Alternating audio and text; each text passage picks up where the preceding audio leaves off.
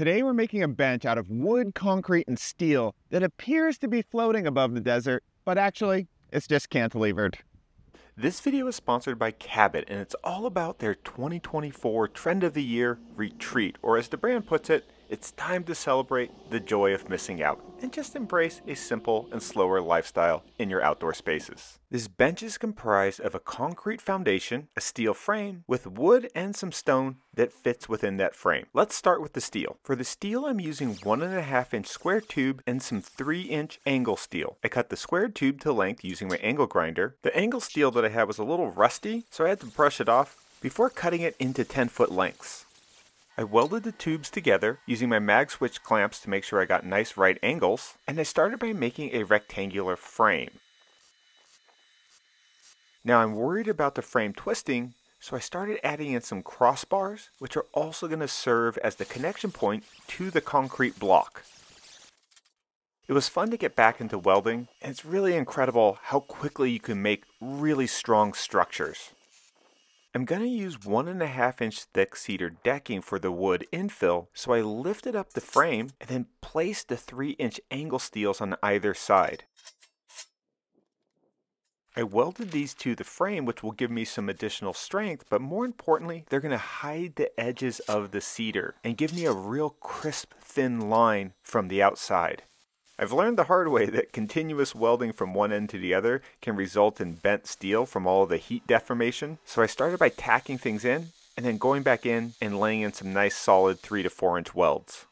I did have to grind some of the middle welds flat just to make sure that the wood deck boards will be able to sit flush onto the steel. On the ends I just welded in a 3 inch flat bar to create a clean looking end cap. I drilled holes for anchor bolts that will hold the steel to the concrete, but I want the bolts to not poke into the wood, so I had to cut some access holes so that the hardware will sit inside the steel tubes.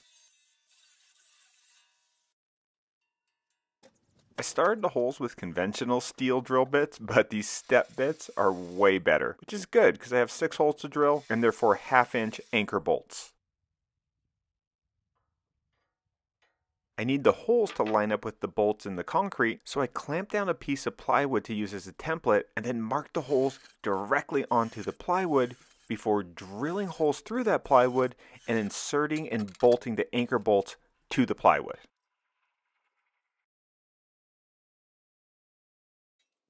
The vertical support is going to be a white concrete cube, and I'm just making this mold out of some old recycled melamine held together with some pocket holes. I've had good results using pocket holes to hold together concrete forms, but there's a lot of weight going into this, so I did make an outer perimeter using some 2x4s. This will also help me attach this mold down to the concrete footing underneath the ground. For the footing itself, I'm just using 2x8s to make a 6 foot long frame that will serve as the foundational base. This cantilever design is going to load the concrete in both tension and compression, so I want to make sure to use adequate reinforcement. Most people just cut rebar and then use wire to hold it together, but I already had the welder out, and for me it's a little faster just to weld everything together. It also ensures that everything will hold together nicely when I move this steel rebar contraption from one workshop to the new house. I picked a nice spot in my new yard and then started digging. For footings like this, I like to do one shovel width around the exterior of the form. That usually gives me enough room to pound in stakes and then drive in screws from the outside. I want the top of the concrete footing to be about 4 to 8 inches beneath the surface of the ground, which worked out well because the ground started getting really hard once I got about 13 inches down.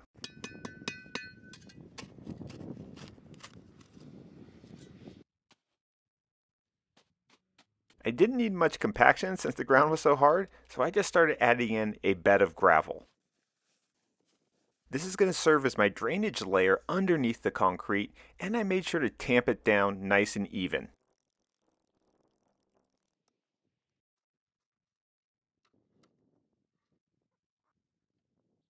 Now I can place the 2x8 form, drive in some steel stakes, secure the 2x8s to the steel stakes,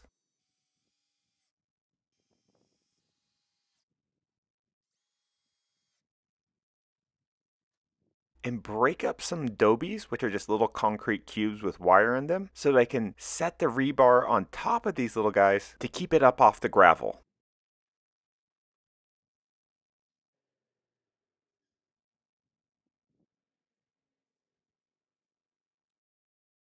Now I'm going to use a real strong structural concrete for the footing, but an ornamental white concrete for the vertical component.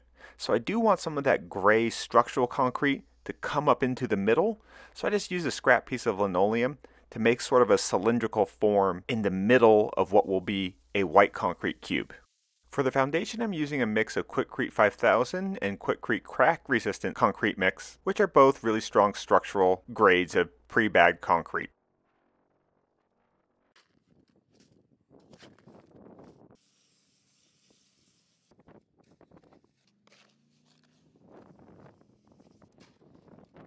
I mixed it until it was the consistency of lumpy oatmeal and shoveled it into the form. I did make sure to vibrate it in to try to get it all around the rebar and make sure it's settled in without too many air gaps. But this is all going to be hidden underground though, so it doesn't have to be too pretty. The idea for this cylinder that's going to go up into the bottom of the white concrete cube is just so that I don't get slippage between these two separate concrete pours. I let the concrete cure for a couple days and then stripped off that linoleum mold so that I could place that big melamine cube and get it ready for the white concrete.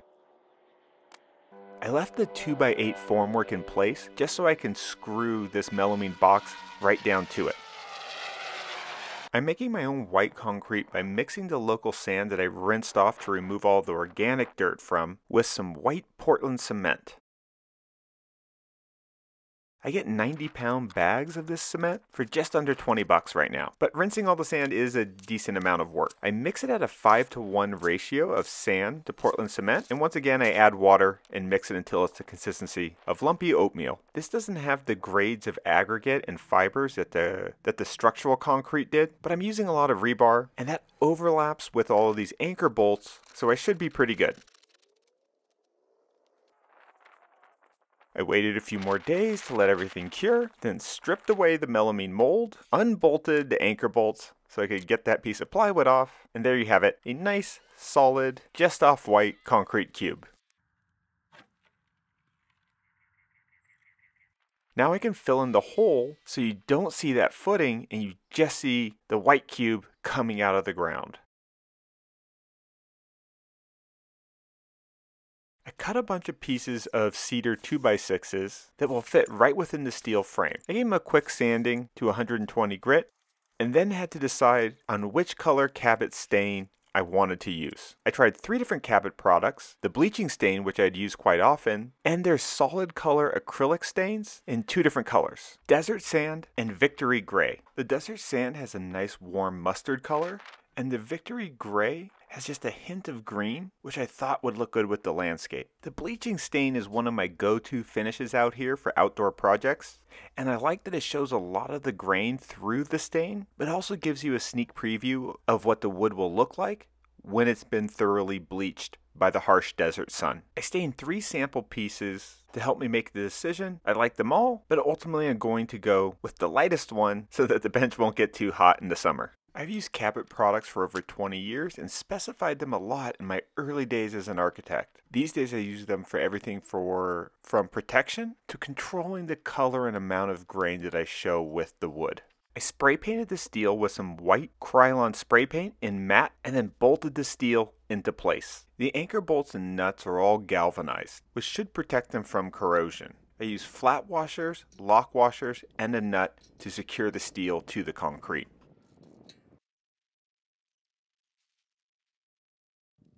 Now I can place the deck boards and even kind of like having a single stripe of a contrasting color here.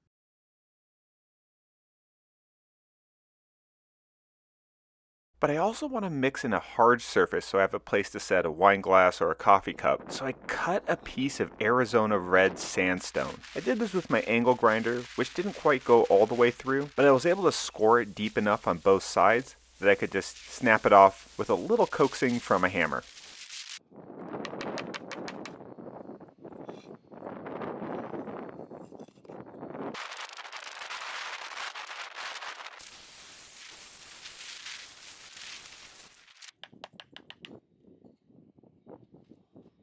This 100 pound stone will also serve as a nice counterweight, but I did notice that the deck boards were sliding around a little bit, so I just cut some scrap so that I could screw these boards together with nice even 1 8th of an inch spaces in between.